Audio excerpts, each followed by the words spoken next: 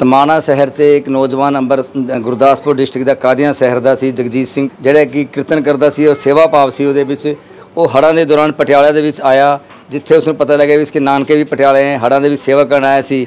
ਲੇਕਿਨ ਉਸकी ਮਾਂ ਉਸ ਤੋਂ 35 ਸਾਲ ਪਹਿਲਾਂ ਵਿਛੜ ਗਈ ਥੀ 6 ਮਹੀਨੇ ਦਾ ਜਿਸ ਟਾਈਮ ਉਹ ਆਪਣੀ ਮਦਰ ਨਾਲ ਵਿਛੜ ਗਿਆ ਸੀ।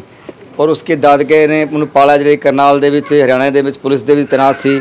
ਦਾਦਾ ਦਾਦੀ ਨੇ ਉਸ ਨੂੰ ਪਾਲਿਆ, ਲੇਕਿਨ 10ਵੀਂ 'ਚ ਜਾ ਕੇ ਉਹਨੂੰ ਪਤਾ ਲੱਗਿਆ ਮੇਰੇ ਵੀ ਮੇਰੀ ਮਾਂ ਔਰ ਮੇਰੇ ਨਾਨਕੇ ਜੇ ਹੈ, ਉਸ ਪਤਾ ਕਰਦੇ ਕਰਦੇ ਇਸ ਸੇਵਾ ਉਹਨੇ ਕੀਤੀ ਜਿਹੜੀ ਆ ਕੇ ਹੜ੍ਹਾਂ ਦੌਰਾਨ ਪਟਿਆਲਾ ਦੇ ਵਿੱਚ, ਤਾਂ ਉਸ ਨੂੰ ਪਤਾ ਲੱਗਿਆ ਕਿ ਇਹ ਮੇਰੇ ਨਾਨਕੇ ਨਾਨਕਿਆਂ ਤੋਂ ਮਿਲਾਪ ਹੋਇਆ, ਤਾਂ ਉਹਦੇ ਬਾਅਦ ਅੱਜ ਉਹ ਆਪਣੀ ਮਾਂ ਨੂੰ ਮਿਲਣ ਲਈ ਸਮਾਣਾ ਸ਼ਹਿਰ ਦੇ ਵਿੱਚ ਆਇਆ ਹੈ, ਜਿਹੜੇ ਕਿ ਚਿੰਤਪੁਰਨੀ ਮੰਦਰ ਪੰਜਪੀਰ ਦੇ ਨਜ਼ਦੀਕ ਉਹਦੇ ਮਦਰ ਇੱਥੇ ਰਹਿੰਦੇ ਸਨ।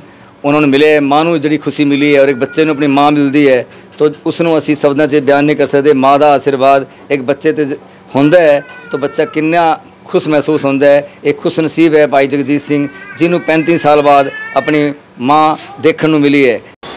ਜੀ ਬਹੁਤ ਵੱਡੀ ਗੱਲ ਹੈ ਕਿ ਮੇਰੀ ਮਾਂ ਅੱਜ ਮੈਨੂੰ ਮਿਲੀ ਹੈ 35 ਸਾਲਾਂ ਬਾਅਦ। ਜਿਸ ਵਾਸਤੇ ਮੈਂ ਬਚਪਨ ਦੇ ਵਿੱਚ ਜਾਂ ਤਰਸਦਾ ਰਿਹਾ ਔਰ ਅੱਜ ਮੇਰੀ ਮਾਂ, ਮੇਰਾ ਭਗਵਾਨ ਜਿਹੜਾ ਆ, ਉਹ ਮਾਂ ਦੇ ਰੂਪ ਦੇ ਵਿੱਚ ਮੇਰੇ ਕੋਲ ਆ। ਮੈਨੂੰ ਬਹੁਤ ਖੁਸ਼ੀ ਹੈ ਇਸ ਗੱਲ ਦੀ। ਜੀ, ਮੈਂ, ਮੇਰੀ ਅੱਜ 35 ਇਅਰਸ 올ਡ ਏਜ ਆ ਔਰ ਮੈਂ 6 ਮੰਥ ਦਾ ਸੀ ਜਦੋਂ ਮੇਰੇ ਦਾਦਾ ਮੇਰੇ ਫਾਦਰ ਸਾਹਿਬ ਦੀ ਜਿਹੜੀ ਹੈ ਉਹ ਕਾਰ ਐਕਸੀਡੈਂਟ ਦੇ ਵਿੱਚ ਮੌਤ ਹੋ ਜਾਂਦੀ ਹੈ ਔਰ ਉਸ ਤੋਂ ਬਾਅਦ ਇਹ ਸਾਰੀ ਜਿਹੜੀ ਹੈ ਕਹਾਣੀ ਜੋ ਤੁਸੀਂ ਸੋਸ਼ਲ ਮੀਡੀਆ ਤੇ ਦੇਖੀ ਹੈ ਕਿ ਬਹੁਤ ਲੰਬੀ ਸਟੋਰੀ ਹੈ ਔਰ ਅੱਜ ਉਸ ਵਿਛੋੜੇ ਦਾ ਅੰਤ ਹੋਇਆ ਔਰ ਮੇਰੀ ਮਾਂ ਮੇਰੇ ਕੋਲ ਹੈ ਜੀ ਮੇਰੀ 14 ਸਾਲ ਦੀ ਬੇਟੀ ਹੈ ਔਰ ਇੱਕ ਬੇਟਾ ਹੈ 9 ਇਅਰਸ ਦਾ ਔਰ ਮੇਰੀ ਵਾਈਫ ਹੈ ਟੀਚਰ ਨੇ। ਔਰ ਅਸੀਂ ਕਾਦੀਆਂ ਨੂੰ ਆਪਣੇ ਨਾਲ ਲੈ ਕੇ ਜਾਓਗੇ? ਜੀ ਮੈਂ ਪੂਰੇ ਆਪਣੇ ਫਰੈਂਡਸ ਦੇ ਨਾਲ ਸੱਜਣਾ ਮਿੱਤਰਾਂ ਦੇ ਨਾਲ ਆਪਣੀ ਮਾਂ ਨੂੰ ਆਪਣੇ ਆਪਣਾ ਘਰ ਨਹੀਂ ਮੈਂ ਕਵਾਂਗਾ ਇਹਦੀ ਮਾਂ ਦਾ ਮੇਰੀ ਦਾ ਘਰ ਹੈ ਉੱਥੇ ਲੈ ਕੇ ਜਾ ਰਹੇ ਹਾਂ ਔਰ ਉੱਥੇ ਪੂਰੀਆਂ ਸਵਾਗਤ ਦੀਆਂ ਤਿਆਰੀਆਂ ਜਿਹੜੀਆਂ ਉਹ ਪੂਰੇ ਜ਼ੋਰਾਂ ਤੇ ਚੱਲ ਰਹੀਆਂ ਹਨ ਜੀ। ਹਰਜੀਤ ਕੌਰ ਜੀ। ਹਰਜੀਤ ਕੌਰ ਜੀ। ਹਾਂ। ਅਜੀ ਜੀ ਬੇਟਾ ਤੁਹਾਨੂੰ ਮਿਲਿਆ ਇੰਨੇ ਸਾਲਾਂ ਬਾਅਦ। ਹਾਂਜੀ। ਕੀ ਕਾਰਨ ਬਣਿਆ ਸੀ ਜਿਹੜਾ ਕਿ ਇਹ ਤੁਹਾਡਾ ਪਿੱਛੇ ਵਿਛੋੜਾ ਹੋ ਗਿਆ? ਅਸੀਂ ਉਹ ਕਾਰਨ ਤੇ ਮੈਂ ਚਲੋ ਕੋਈ ਨਹੀਂ ਦੱਸਣਾ ਚਾਹੁੰਦੀ। ਬਸ ਮੈਨੂੰ ਬੇਟਾ ਮਿਲ ਗਿਆ ਮੈਨੂੰ ਇੰਨਾ ਇਸ ਤੋਂ ਉੱਤੇ ਕੁਝ ਨਹੀਂ ਚਾਹੀਦਾ ਦੱਸਣਾ ਅੱਜ ਕਿਵੇਂ ਲੱਗ ਰਿਹਾ ਤੁਹਾਨੂੰ? ਮੈਨੂੰ ਬਹੁਤ ਵਧੀਆ ਲੱਗਾ ਜੀ। ਮੇਰੀ ਮੇਰੇ ਜਾਨ ਮੈਨੂੰ ਮਿਲ ਗਈ ਮੇਰਾ ਪੁੱਤਰ ਮੈਨੂੰ ਮਿਲ ਗਿਆ ਮੈਨੂੰ ਕੁਝ ਨਹੀਂ ਚਾਹੀਦਾ। ਹੁਣ ਤੁਸੀਂ ਫਿਰ ਨਾਲ ਕਾਜੀਆ ਜਾ ਰਹੇ ਹੋ ਇਹਨਾਂ ਦੇ? ਹਾਂਜੀ ਹਾਂਜੀ। ਨਾਮ ਆਪ ਜੀ ਦਾ? ਸੁਖਚੈਨ ਸਿੰਘ ਜੀ ਜੀ 35 ਸਾਲ ਬਾਅਦ ਜੀ ਇਹਨਾਂ ਦਾ ਮਿਲਣ ਹੋਇਆ ਜੀ ਇਹਨਾਂ ਨੂੰ। ਹਾਂਜੀ।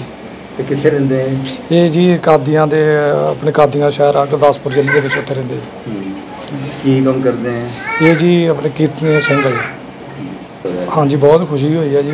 ਪਹਿਲਾਂ ਤਾਂ ਦੁੱਖ ਵੀ ਆਇਆ ਚਲੋ ਇਹਨਾਂ ਚ ਇੰਨੇ ਸਾਲੇ ਵਿਛੜੇ ਰਹੇ ਆ। ਪਰ ਉਸ ਤੋਂ ਬਾਅਦ ਖੁਸ਼ੀ ਬਹੁਤ ਹੋਈ ਕਿ ਇਹਨਾਂ ਨੇ ਇਹਨਾਂ ਦਾ ਮਿਲਾਪ ਹੋਇਆ ਜੀ 35 ਸਾਲ ਬਾਅਦ ਮਾਂ। ਇਹ ਮਿਲਾਪ ਦਾ ਕਾਰਨ ਕੀ ਬਣਿਆ? ਕਿਸ ਤਰ੍ਹਾਂ ਮਿਲਾਪ ਹੋਇਆ? ਮਿਲਾਪ ਇਹਨਾਂ ਦਾ ਜੀ ਜਿਹੜੇ ਹੜ੍ਹ ਪੀੜਤ ਅ, ਜਿਹੜੇ ਹੁਣ ਇਹ ਪ੍ਰਭਾਵਿਤ ਹੀ ਲੋਕ ਆ ਇਹ ਇਹਨਾਂ ਦੀ ਜੀ ਸੇਵਾ ਕਰਦੇ ਆ। ਤੇ ਇੱਥੇ ਫਿਰ ਸੇਵਾ ਕਰਨ ਵਾਸਤੇ ਇੱਥੇ ਆਏ ਤੇ ਜਿੱਥੋਂ ਇਹਨਾਂ ਨੂੰ ਪਤਾ ਲੱਗਦਾ ਕਿ ਮੇਰੇ ਨਾਨਕੇ ਵੀ ਇੱਥੇ ਹੀ ਆ।